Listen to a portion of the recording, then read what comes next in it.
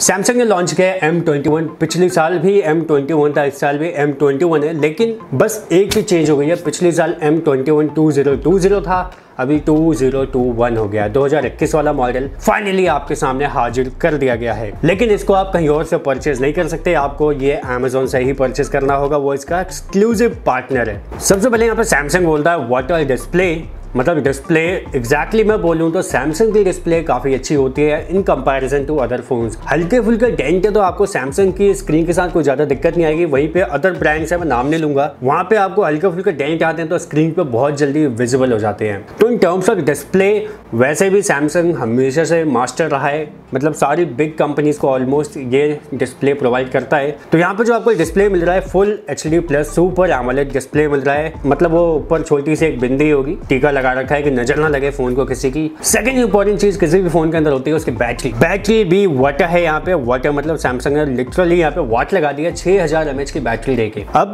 छह हज़ार की बैटरी जो सैमसंग क्लेम करता है, मैं नहीं। वो बोलता है, बाईस घंटे तक आप वाईफाई पे कुछ भी चला सकते हो। मतलब कुछ भी मतलब सैमसंग अच्छे टर्म्स में बात करता है। कुछ भी मतलब कुछ भी नहीं होता है ओके वीडियो आप ट्वेंटी नाइन आवर्स तक चला सकते हो। म्यूज़िक एक सौ इक्कीस घंटे लगातार सुन सकते हो। बात फ़ोन पे आप एल नेटवर्क के साथ फोर्टी नाइन पचास ही कर देते यार, पचास घंटे अप्रोक्स कर सकते हो और पंद्रह वाट चार्जिंग के साथ आता है मतलब फास्ट चार्जिंग भी सपोर्ट करता है डिवाइस तो बैटरी में सैमसंग विंस कैमरा किसी भी फ़ोन का इंपॉर्टेंट रोल प्ले करता है, हालाँकि सैमसंग के उस रेंज के कैमराज मेरे को बहुत ज़्यादा कन्विंस नहीं करते हैं, लेकिन फिर भी यहाँ पे अगर हम कैमरे की बात करें तो अभी जो ऑन पेपर सैमसंग क्लेम करता है, वो बोलता है फोर्टी एट एमपी का आपको मेन कैमरा मिलेगा, उसके साथ एक मेगापिक्सल का अल्ट्रा वाइड कैमरा मिलेगा, जो कि 123 डिग्री तक फ़ोटो ले सकता है। और यहाँ पे डेफ्थ जो है फाइव एम का मिलेगा। मतलब जो बुके इफ़ेक्ट वगैरह मिलता है। कैमरा अगर हम रिकॉल करें तो पिछले फ़ोन में तीनों कैमरे एक साथ चिपके हुए थे। यहाँ पे दो भाइयों को एक साथ रख के एक को अलग कर दिया गया है। I don't know why Samsung ने ऐसा क्यों किया है बट तो फ्रंट में भी आपको ट्वेंटी एम का कैमरा मिल जाता है। मतलब अभी आजकल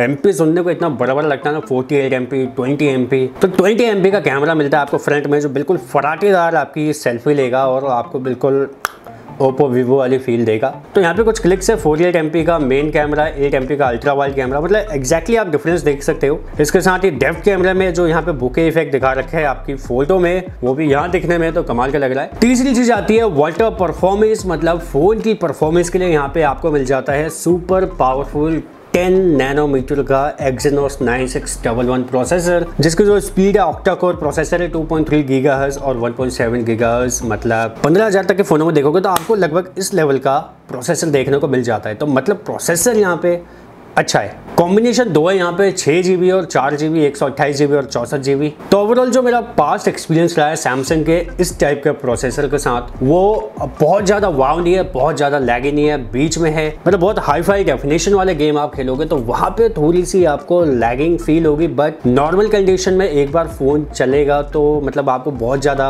इशू नहीं आएगा फ़ोन में। डिज़ाइन की बात कर लें, यहाँ पे नेक्स्ट जो कि बहुत ज़्यादा इंपॉर्टेंट रोल प्ले नहीं करता है बिकॉज़ जो डिज़ाइन है ऑलमोस्ट पिछली बार जैसा ही है, जैसा मैंने बताया, बस कैमरे में थोड़े बहुत चेंजेस हैं। इसके साथ सेंसर्स की बात कर लें तो फ़ोन में सारे बेसिक सेंसर्स दिए हुए हैं एक्सेप्ट यहाँ पे एनएफसी नहीं है, जो मैं देख पा रहा हूँ। एन बेसिकली सैमसंग के पंद्रह के प्लस पंद्रह प्लस वाले जो रेंज होती है, उसमें आता है। एन का काम क्या है? बेसिकली जहाँ पे आपको पेमेंट करना है टैप एंड गो वाले पेमेंट करने हैं वहाँ पे एन काम में आ जाता है। बट यहाँ पे आई थिंक सैमसंग पे मिनी मिल जाएगा आपको। मिनी वर्जन मिलेगा, जहाँ पे आप सिर्फ़ यूपीआई वगैरह कर सकते हो, लेकिन यहाँ पे एन नहीं है। और आखिरी में जो सैमसंग यहाँ पे दिखा रहा है वो सिंपल कस्टमर सर्विस मतलब तीन हज़ार प्लस सर्विस सेंटर है।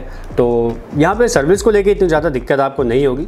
तो ये हमने यहाँ पे सैमसंग गैलेक्सी 21 को पूरा खोल डाला है और वाटर डिस्प्ले वाटर बैटरी वाटर परफॉर्मेंस इन सबको हम कंबाइन करें तो फ़ोन ग्यारह बारह हज़ार की रेंज में लेने लायक है। और डिस्प्ले में मैं कहूँगा एक बार फिर सैमसंग के डिस्प्ले अच्छी होती है। So that's all about the video और आई होप आपको चीज़ पसंद आई होगी। कोई भी डाउट है फ़ोन को लेके कोई भी क्वेरी है तो नीचे कमेंट बॉक्स आपके लिए बना है, और ऊपर जो सब्सक्राइब बटन बना है, वो मेरे लिए बना है तो उसको सब्सक्राइब कर दीजिए, नीचे कमेंट कर दीजिए, और शेयर कर दीजिए लाइक कर दीजिए। जो जो आपको करना है, कर दीजिए। बस आपका प्यार ऐसे बना रहे। तो आगे मिलते हैं नई वीडियो में।